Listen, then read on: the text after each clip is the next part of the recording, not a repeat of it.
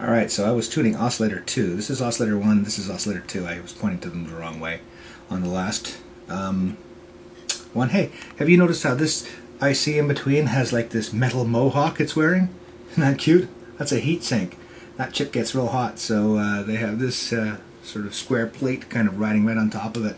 That's pretty inventive. Okay, uh, enough of that. Um, so let's check out that.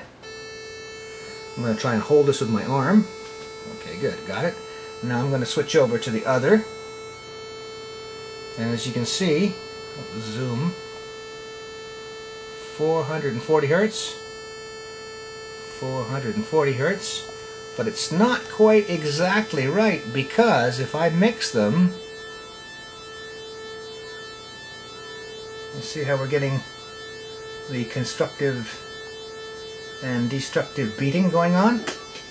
So I'm going to while I do this, I'm going to tune oscillator 2 even tighter.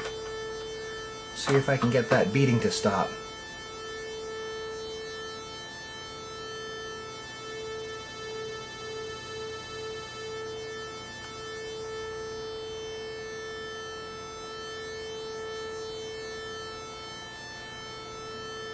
This is a bit like tuning a guitar.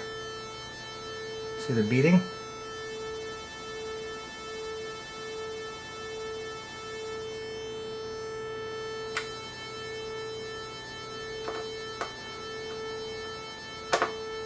This is... Remember, these are analog circuits, so...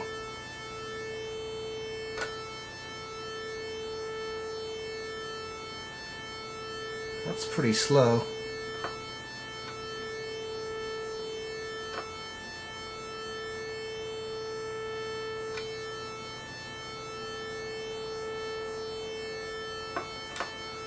You think you have it.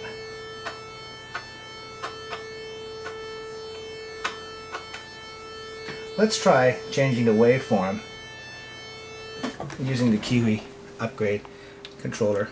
So, sawtooth pulse square. Let's try square. That's oscillator 1. And look, there's a separate control for oscillator 2. Square. So now they're both square waves. Isn't that cool?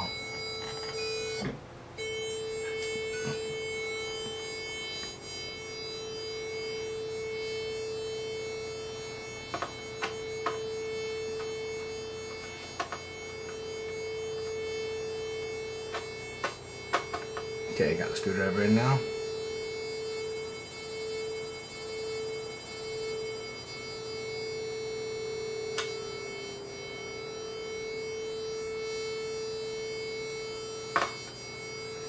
Not sure if I'm going to really be able to minimize this, but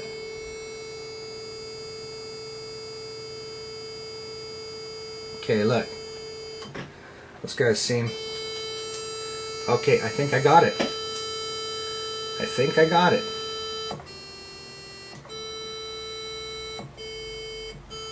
Now, depends really on where you, at what time you press down.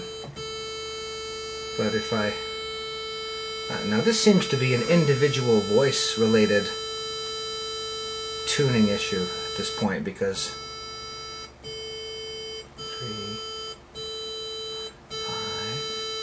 six. One, two, three, four, five, six.